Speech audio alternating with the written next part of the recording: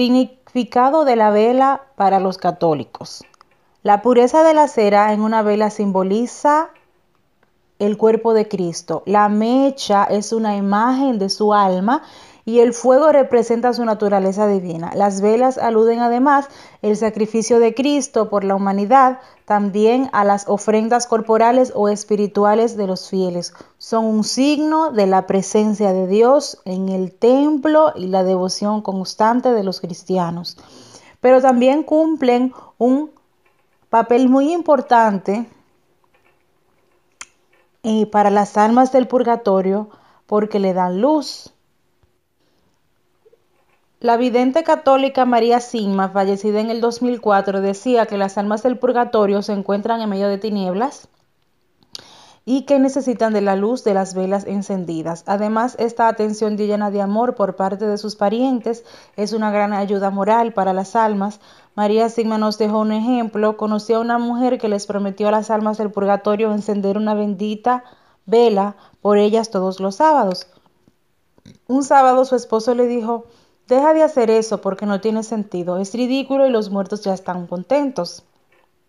Difícilmente necesitan que enciendas la vela y no me interesa lo que les hayas prometido. Por supuesto, la mujer estaba muy triste porque aún quería cumplir su promesa, pero no quería desobedecer al esposo.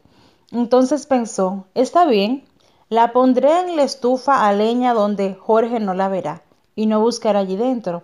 Entonces colocó la vela en la estufa y cerró la pequeña puerta, que por cierto tenía una ventana muy pequeña.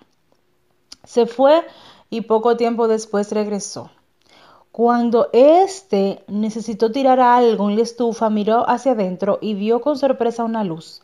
Pensó que era extraño y abrió la puerta para mirar.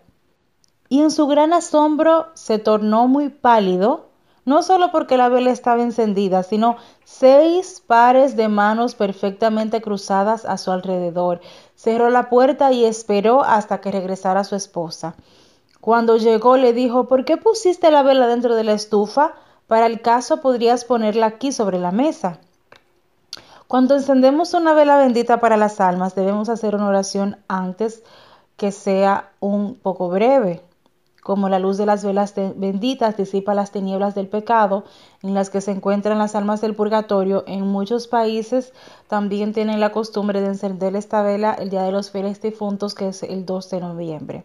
En ese día los familiares y las personas encienden esas velas para aquellos que han fallecido.